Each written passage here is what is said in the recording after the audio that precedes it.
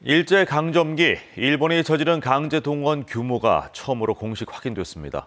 부산과 경남에서만 모두 700여 곳이 넘는 것으로 조사됐습니다. 박명선 기자가 보도합니다.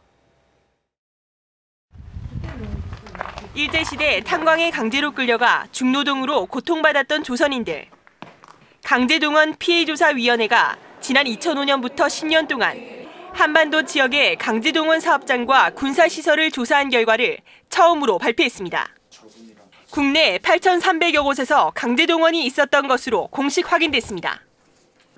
일제가 한반도를 병창기지로 활용하면서 인력과 물자를 수급해간 증거입니다. 이번 조사에서는 또 10살 남짓한 어린아이까지 강제동원한 사례도 확인됐습니다. 특히 이 가운데 부산 경남 지역에는 광산과 공장 등 모두 707곳이 확인됐습니다. 일본 기업이 운영했던 이곳 일광광산이 부산 지역의 대표적인 일제 강제동원 현장입니다. 강제로 끌려간 조선인들이 일한 사업장에는 지금도 현존하는 일본 대기업이 많이 포함돼 있습니다.